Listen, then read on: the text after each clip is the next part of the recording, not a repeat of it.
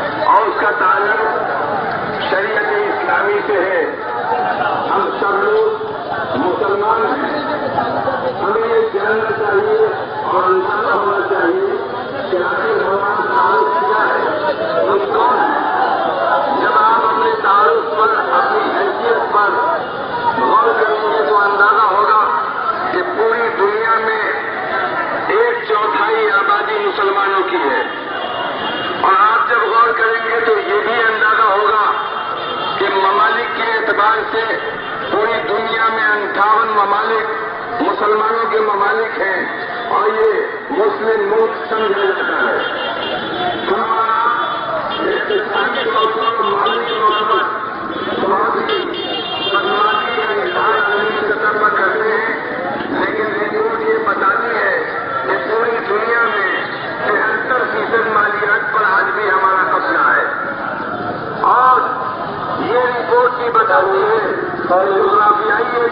دیکھیں اگر ہم زمینی اعتبار سے دیکھیں ہم، تو اڑسٹھ فیصد جغرافیے پر، زمینی حصے پر آج بھی پوری دنیا میں مسلمانوں کا قبضہ ہے۔ تو اس اعتبار سے اگر آپ غور کریں اور دیکھیں اور بہت اختصار کے ساتھ سمجھنا چاہیں، تو پوری دنیا میں مسلمان مالی اعتبار سے اس پوزیشن میں ہیں کہ آج اگر وہ یہ طے کر لے کہ پیٹرول کی ٹینکی پر تالا لگا دے گا، تو پوری دنیا کے ترقی یافتہ ممالک کے جہاز گیرج میں تبدیل ہو جائیں گے۔ اور وہ پورنے کی صلاحیت کھو دیں گے۔ یہ سرمایہ، یہ طاقت، یہ قوت مالک نے یا کائنات کے خالق نے آج بھی آپ کے حصے میں دے رکھی ہے۔ اور یہ حصے میں آپ کے آج بھی موجود ہے لیکن کائنات کے خالق نے یہ کہا ہے کہ یہ سارا سرمایہ اپنی جگہ پر، لیکن تم اپنے ایمان کو مضبوط رکھو گے طاقتور رکھو گے تبانا رکھو گے تو ہم اس کی بنیاد کو تمہیں کامیاب کریں گے۔ اور مومن کی بات مومن ہوتا ہے، جب اس کا ایمان و عقیدہ یہ ہو جائے کہ پوری دنیا مل کر کے اگر نقصان پہنچانا چاہے، تو ہم کو نقصان نہیں پہنچا سکتی جب تک کہ کائنات کا خالق نہ چاہے۔ اور پوری دنیا مل کر کے اگر ہم کو فائدہ پہنچانا چاہے، تو فائدہ لوگ نہیں پہنچا سکتے جب تک کہ کائنات کا خالق نہ چاہے اللہ جب یہ ارادہ ہوتا ہے، خیال ہوتا ہے تو مومن مومن بنتا ہے یہ جو آج کا ایشو ہے، میں جو تین باتیں آپ سے انتہائی اختصار کے ساتھ عرض کرنا چاہتا ہوں اور سنجیدگی کے ساتھ عرض کرنا چاہتا ہوں۔ یہ پورا مجمع آج جو یہاں آیا ہے، مسلمانوں کے درمیان بے روزگاری کا مسئلہ ہے۔ پسماندگی کا مسئلہ ہے۔ ان کے کاروبار میں ترقی نہیں ہو رہی ہے اس کے امکانات نہیں سامنے آ رہے ہیں کیا مسئلہ ہے۔ لوگوں کے سامنے اپنے بیٹیوں کو ملازمت دلانے کا مسئلہ ہے۔ لیکن میں پوچھتا ہوں آپ سے کہ اتنا بات وہ شکو مجمع آج کس مسئلے کے حل کے لیے آیا ہے؟ وہ اپنے ان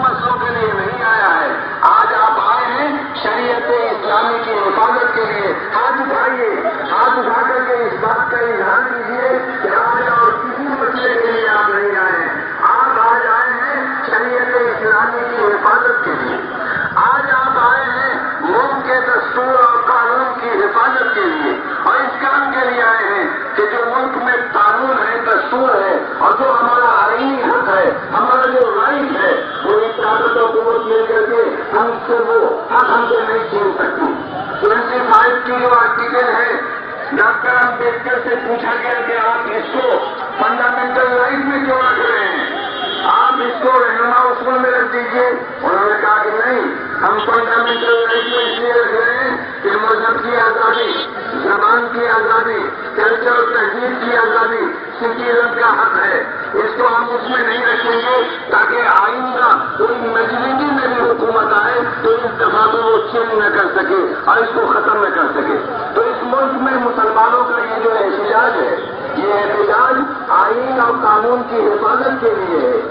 اور یہ احتجاج اس لیے ہے کہ ملک کے قانون کی حفاظت کی جائے تاکہ سب لوگ محبت کے ساتھ، سکون کے ساتھ زندگی اور کے ساتھ گزار سکیں۔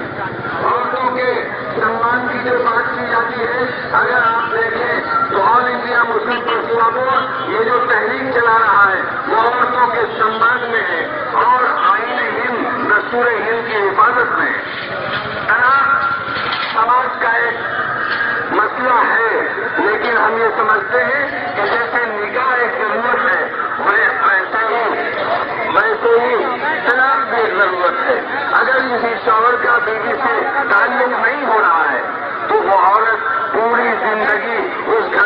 سپاہی بن کر کے نہیں رہے، نوکرانی بن کر کے نہیں رہے، اس کے گھر سے اس کی لاش نہیں نکلے، بلکہ وہ الگ الگ ہو کر کے ایک نئی زندگی کا آغاز کر سکے۔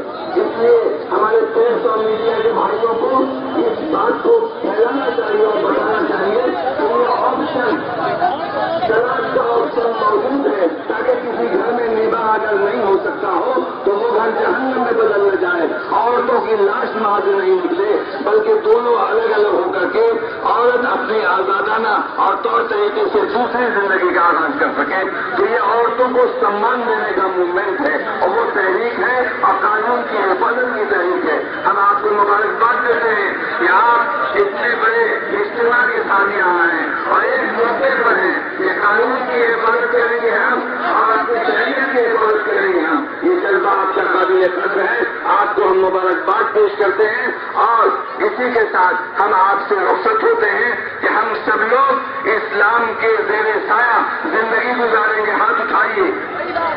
ہم سب لوگ اور انڈیا مسلم کو سپورٹ کی قیادت کے ساتھ ہیں ہم سب لوگ اس تحریر کو آئینی اور قانونی تحریر سمجھتے ہیں۔ وہاں پھر الحمد للہ رب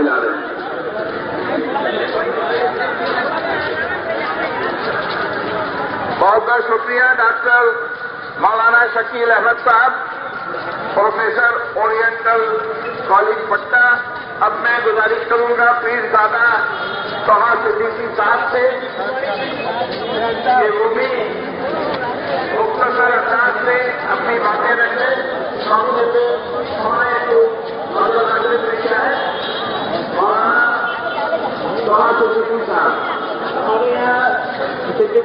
مرضی صاحب جمع اللہ پریسیڈنٹ وہ بھی آگے ہیں، میں ان کا بھی خیر مقدم کرتا ہوں۔ توحا صدیقی صاحب کے بعد مولانا شراب احمد صاحب وہ بھی پٹنہ سے تشریف لائے ہیں۔ نائب ناظم عمارت شریعت توحا صدیقی پیرزادہ انہیں آپ کو السلام علیکم۔ أعوذ بالله من الشيطان الرجيم بسم الله الرحمن الرحيم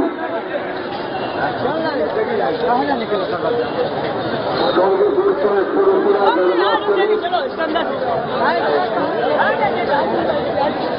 مجددنا هنا حاولة الإشراف بعشر منكم مثل قانون بسلاحكم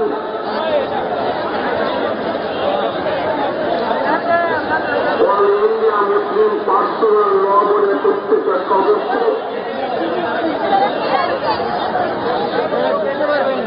এবং আজকের এই সুন্দর অনুষ্ঠানে যারা উপস্থিত হয়েছেন সকলকে আবার ফুলপুরা জানাচ্ছেন নিজার পাউন্ডেশনের তরফ থেকে